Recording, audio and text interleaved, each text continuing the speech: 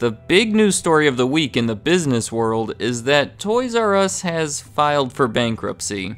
I've been getting quite a few requests to make a video about it, and I completely agree. This is a terrific subject to talk about.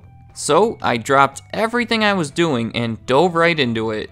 Keep in mind that this video is being made the same week as the announcement, and it's sometimes hard to see the full picture from such a close distance, so don't be too harsh if you're watching this sometime in the future and I say something that sounds a little foolish.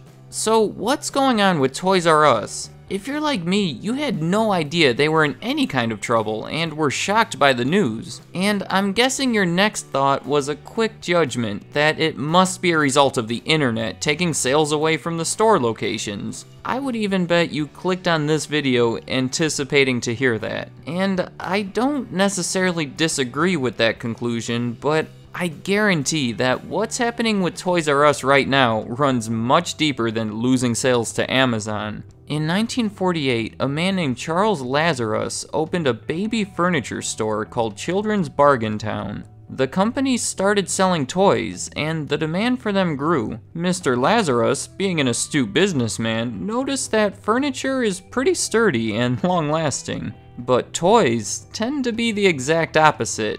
The focus of the business soon became toys, and in 1957, Toys R Us was born. Anyone know where the name Toys R Us comes from? Well, obviously it conveys that they're in the toy business, but any idea as to why those three words are combined in such a strange way? And why it uses the letter R? Well, let me repeat the founder's name. Charles Lazarus. Did I just blow your mind? Another fun fact, any guesses as to why the R is backwards? Well, Charles Lazarus was a big fan of the band Korn, Okay, one of those two facts was true and the other was a lame joke. You decide which is which. A few years later, Geoffrey the Giraffe was created as the company's mascot. He was originally named Dr. G. Raff, so I'm sure you can understand why they renamed him. In 1978, Toys R Us went public, meaning anyone could become a partial owner through the purchase of some stock. Five years later, they made a logical expansion with the creation of Kids R Us, a clothing store for kids. I actually don't care for this name as much because the name Toys R Us identifies what they sell, whereas Kids R Us identifies their target customer but kids are also the target customer for Toys R Us. My vote would have been to name it Clothes R Us, since people recognize the R Us part as targeting kids. The clothes part lets you know what they sell, and it follows the same naming format established by Toys R Us. But I suppose most company names don't describe what they sell anyway, so I'm sure there were other factors responsible for its demise in 2003 but I can't get into them right now. This video is about Toys R Us, not Kids R Us. I've already spent too much time on Kids R Us. 1996 marked the beginning of Babies R Us, which despite having the same naming issues as Kids R Us, still stands today. In 2005, the company was taken off the stock market and transformed into a private company when it was purchased in a leveraged buyout. And in September of 2017, Toys R Us filed for bankruptcy. This is a company that began 60 years ago with roots going even further back. A company that became the standard for toys. Anytime within the last 30 years, including today, if Family Feud were to survey 100 people and ask them to name a toy store, the number one answer on the board would be Toys R Us. And as of this week, this company has filed for bankruptcy. So, how on earth did this happen? The short answer is that they have too much debt. But that's a no-brainer. Of course they have too much debt. Why else would they file for bankruptcy? So then in my mind, the real question becomes, how did they get so much debt? So let's try to figure out this one together, Dora the Explorer style. Here's a graph that shows their long-term debt over the past 14 years. So, which year do you think we should further investigate to try to find out where all this debt came from? Well, it certainly appears that something happened between 2005 and 2006. And I actually already told you what it was. In 2005, the company went private through a leveraged buyout. A leveraged buyout is when you buy a company using a bunch of debt. I can best explain it through an example. Say I wanted to buy Toys R Us. The selling price is $10 million, but I only have $1 million. So I go to the bank and try to get a loan for the remaining 9 million. But it turns out I need a pretty good collateral in order to take out a $9 million loan.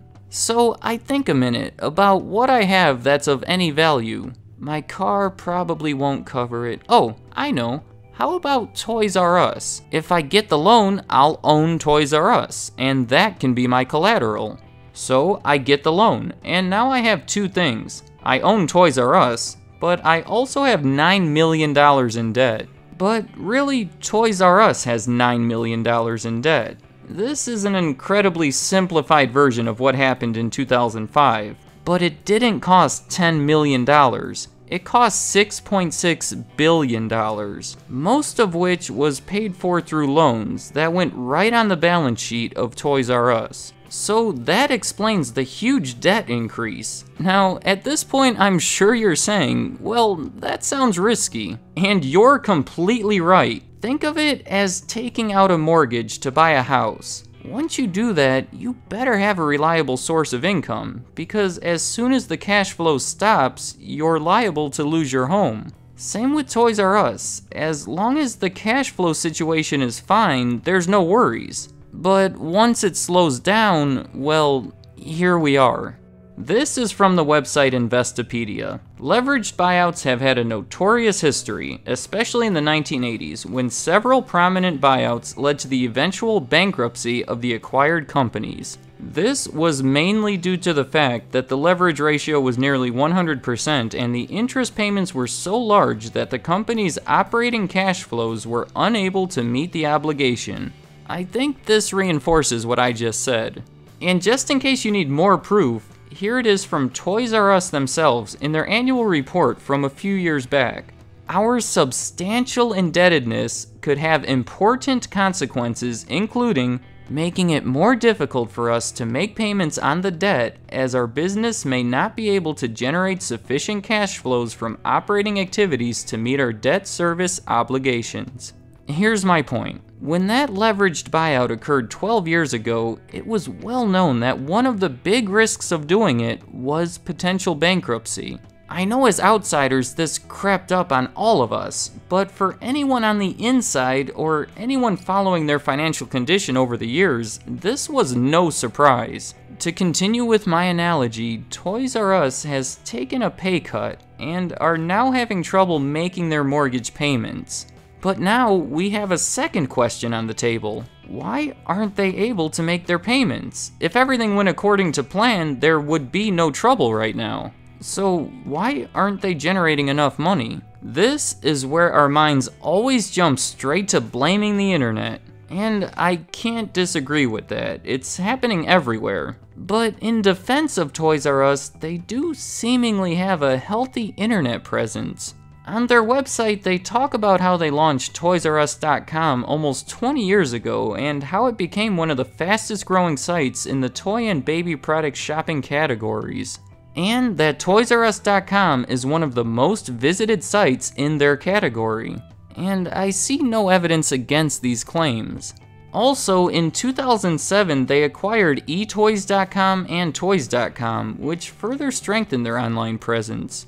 I know Amazon is darn near impossible to compete with, but as far as I can tell, Toys R Us hasn't exactly been ignoring their online component of their business. Another thing to point to are stores like Walmart and Target that offer similar, if not the same toy products at lower prices. Not to mention the convenience of picking them up during your routine shopping trips. Maybe it's just because I'm older now, but Toys R Us doesn't seem to have the same weight it once had. Meaning, before it felt like the place to go for toys, and now I see it as the expensive place to go for toys. Something that I'm inclined to blame for all of this is the decline of toy popularity in general. Just think about it. Kids aren't spending the better part of their day playing with toy trucks and yo-yos. It's all about technology. Video games are awesome today. It's no longer Pong and Dig Dug, it's Breath of the Wild and GTA 5.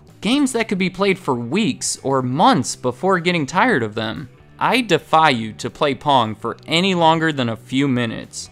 And of course the apps and games on the phone. Why spend a ton of money on Legos when most apps are free? The bottom line is that Toys R Us isn't doing great, but they're also not doing terrible. Sure, they have their troubles selling toys, and trust me, the troubles were there long before the leveraged buyout. But it was the debt that resulted from the buyout that amplified everything. Back to the analogy. You took a pay cut, Yes, that's bad news, but the fact that you have the mortgage payments to keep up with is what makes it devastating. As for the future of Toys R Us, it's hard to predict anything with much accuracy when they're in the middle of a bankruptcy, but my guess is that they'll stick around. It is the type of bankruptcy where you restructure your debts and stay in business, and as far as I can tell, if this debt is managed a little, maybe they could have some freedom to improve upon their faults and become more competitive.